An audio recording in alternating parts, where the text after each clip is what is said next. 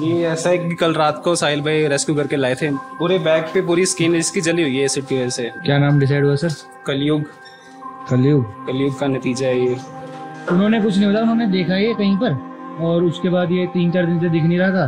कल उनको दिखा तो उन्होंने एक केले वेले का लालच देके घर में घुसा दिया इसको। पर ये नहीं पता कि क्यों डाला। पर जिसने डाला भी मतलब वो एसिड लेके घूम रहा था। कोई आइडिया नहीं मतलब ये जो मरे लड़कियों पे डालते हैं तो वो होते हैं ना भाई भाई हमारे साथ ब्रेकअप कर दिया तो हम बदला लेने की भावना से तो लेके घूम रहे होते हैं।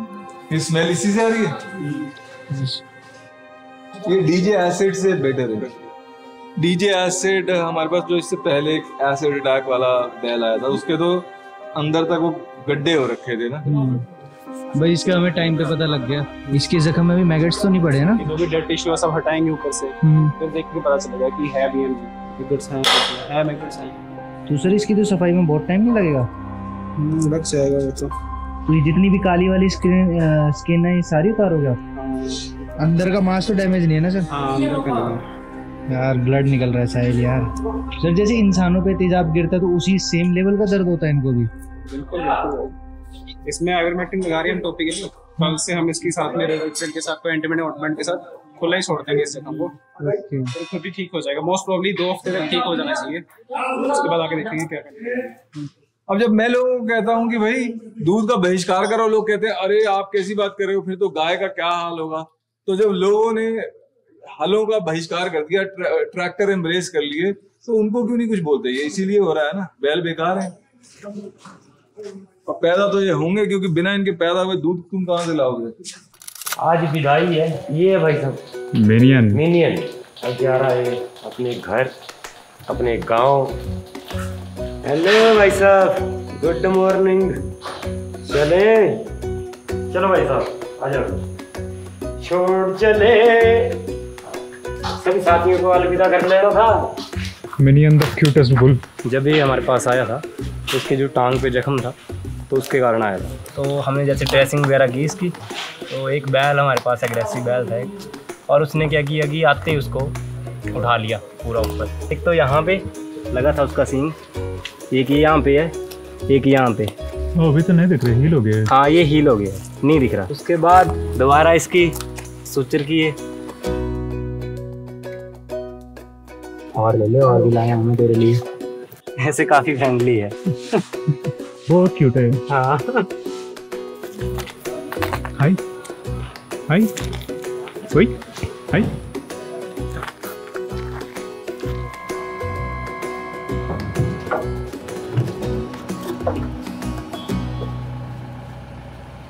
मेरे फ़ोटो खींच रहे हैं हाँ जी वीडियो बना रहा था आंटी जी? हाँ जी। क्यों? बस आपने मदद करी एक जानवर की? मैंने मदद की है एक जानवर की। हाँ जी। पर मैं तुम्हारी शिकायत भी लगा सकती हूँ। लगा दो आंटी जी। कि मैंने बहुत बार बुलाया आप लोग आए नहीं। अब वो यार आंटी जी जैसी जगह बनती है हम तुरंत आ जाते हैं। और निन्नी मैं आपकी वो समझती हूँ। आप लोग वैसे भी बहुत अच्छा काम कर रहे हैं। बट मेरे को लग रहा है शायद एक रेस्क्यू टीम मुझे भी अपनी बना लेनी चाहिए या नेट ले लेना चाहिए मुझे। हाँ क्योंकि वो यहीं पे थी। और मेरे पास नेट की कमी थी नहीं तो नेट से शायद मैं भी पकड़ लेती और आपके हवाले कर देती हूँ। तो वो ना यहीं आती है बैठती है। तो जैसे वो गत्ता मैंने रखा उसमें मैं खाना देती हूँ इसको। Because I feel the pain of these animals because इनका कोई सहारा नहीं है है ये तो आंटी जी। और बाकी I have seen people here ना वो थोड़ा पत्थर मार के या डंडा मार के भगा देते हैं तो टांग टूट जाती है। यहाँ लोग हेल्प करने के अलावा मतलब भगा देते हैं उसको। हेल्प करने के अलावा सब कुछ कर देंगे। सब कर देंगे। ये तो आंटी जी। है ना? और अगर पंडित जी बोलेंगे इनको हम्म, कि कुत्ते को रोटी दो तब देंगे वो। हाँ। है ना? तो मेरे लगातार वीडियो ले रहे हो। नहीं आंटी जी आपके जैसे लोग हैं समाज में जिनकी वजह से जानवर तो दो चार जो बच पा रहे हैं। मैं तो पता नहीं मैं तो धनोटू आकर के बैठ जाऊँ आप लोगों के साथ में। बिल्कुल मैम, फील होता है welcome जानवर के बारे में। किस साइड गई है? मुझे लगता है शायद इनके अंदर ना चली गई हो। ब्लैक ब्राउन ब्लैक है। ब्लैक है? बस यही है फिर। बैठी है? हमारी टीम आपस में ऐसी एकता महसूस करती है कि अगर एक भी व्यक्ति हेलमेट पहन लेता है तो उन्हें लगता है पूरी टीम सेफ़ है। आगे आगे आगे आगे आगे आगे इसके फ्रेंड्स आ गए बस बस। अब तो ये ठीक हो जाएगी इसको जल्दी ठीक करके यहीं रिलीज़ कर देंगे। हाँ यही रिलीज़ कर देना। आप प्रेग्नेंट है? प्रेग्नेंट भी हो सकती है शायद। इसको स्पे भी करा लेना अगर नहीं प्रेग्नेंट हुई तो। प्रेगनेंसी के दौरान स्पेस सर्जरी थोड़ी रिस्की हो जाती है पर मैं फिर भी कहूँगा कि वो 10 प्रतिशत रिस्क डिलीवरी से कहीं ज़्यादा बेहतर है क्योंकि जो डिलीवरी में छः आठ बच्चे पैदा होंगे उन्होंने तो भूख बीमारी लाचारी से 90 प्रतिशत मर ही जाना है। ओए बच्चे। गुस्सा बस मत करना तू मेरे को ना। हाँ गुड गर्ल है ना बाबू। गुड गर्ल है ना बच्चे। गुड गर्ल है ना बच्चे। इसकी जो पीछे टांग वाली बोन है ना फेमरस वो टूट के ऊपर आ रखी उसके मल्टीपल फ्रैक्चर्स लग रहे हैं बट क्लियर नहीं हो पा रहा। है एक बार एक्सरे देख के पता चलेगा ना तो ज़्यादा बेटर अंडरस्टैंडिंग होगी। एक ही पैर में फ्रैक्चर है ना कि फ्रैक्चर भी दोनों में एक ही एक ही। ठीक है और एक दूसरे पैर में घाव है। हाँ दूसरे बार में ओपन रहा है ठीक हो। जाएगा। इसकी नॉर्मल एन से क्लीनिंग करेंगे साथ में मेट्रो से भी साथ फ्लश करेंगे और उसके बाद इसकी डिस्पोरिन बॉर्डर से पैक कर देंगे इसको। एक भी दांत नहीं है। आगे देखो। डॉक्टर तरन बता रहे हैं कि उनके हिसाब से ना कि एक्सीडेंटल ट्रॉमा हो सकता है या किसी ने मारा हो सकता है तो दांत जो है वो तो सारे टूटे हुए हैं और वो हील हो चुका है। और जो भी ट्रॉमा पीछे हम देख रहे हैं ना फ्रैक्चर और वूंड वो भी पुराना ही है। आप तो बोले बड़े कोऑपरेटिव हो। अच्छा। अच्छा अच्छा शुरू लोगों लेके आए हो? हाँ। आगे बैठा लाए। आगे भाई। सही, आपकी नई कंडक्टर बन गई है? नहीं क्लीनर चलो मैम चलो। अपना इलाका आ गया। चलो घूमो फिरो। एंजॉय करो। श्रीलू। शीलू हमने आपको बताया था कि खासी अच्छी न्यूज़ नहीं है। तो जो है क्या कि इसका एक पैर का तो जो है ना फीमर डैमेज है। ठीक है? पीछे का। और जो दूसरा पैर है उसका वो जो है हील्ड है फ्रैक्चर तो वो टेढ़ी है। तो अब जब ये बड़ी होगी थोड़ी तो इसको मतलब ऐसा लग रहा है कि ये खड़ी नहीं हो पाएगी। पर हम वेट कर रहे हैं कि क्या पता मतलब ऐसा नहीं कि अभी ये कोई दर्द में है खाना वाना खा रही है ठीक है तो अभी हम इसको चांस दे सकते हैं कि क्या पता कोई मेरेकल हो जाए। ये एच ग्रुप है ना पीपल फार्म का एक। उसमें किसी ने फ़ोटो भेजी थी इसकी और लिखा था हमें रेस्क्यू के लिए हेल्प चाहिए। तो मैंने बोला कर देते हैं फिर। अरे भाई हुआ क्या इसको?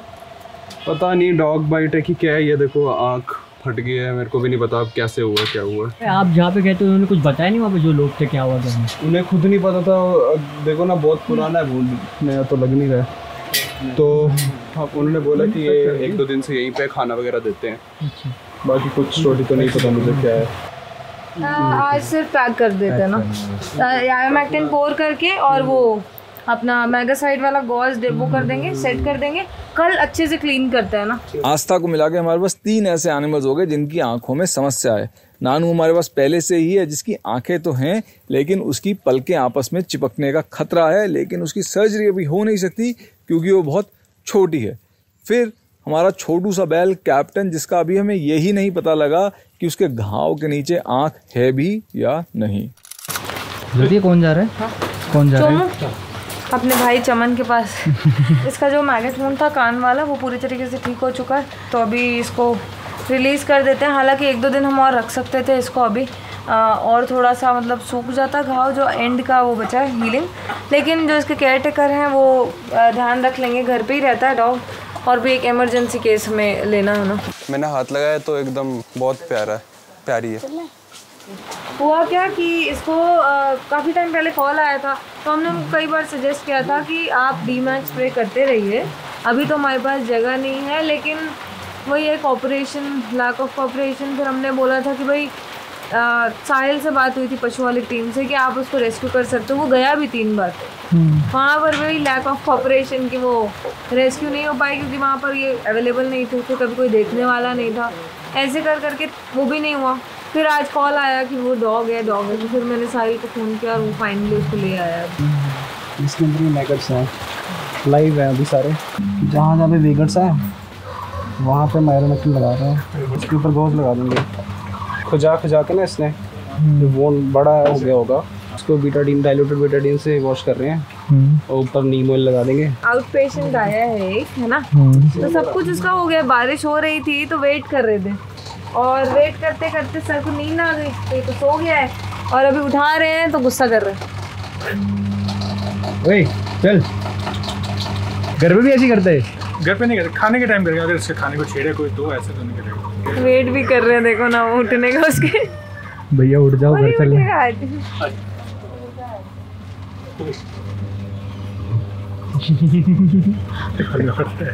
कुत्तों और इंसान का रिश्ता है तो बहुत प्यारा पर है ये थोड़ा अनफेयर अब हम इन्हें बच्चों की तरह पालते हैं, लेकिन भगवान ने हमें ज़िंदगी दी है लंबी और इन्हें छोटी तो ये हमारे सामने ही गुजर जाते हैं और फिर उतना ही दुख होता है जितना किसी भी माँ बाप को अपनी औलाद खोने पे होता होगा। लेकिन ये दुख कहीं और ज़्यादा बढ़ जाता है जब हमें पता है कि इन बच्चों को बाँध के, पिंजरे में डाल के, किसी के खाने के लिए काटा जा रहा है, जैसा कि यूलिन डॉग फेस्टिवल में होता है।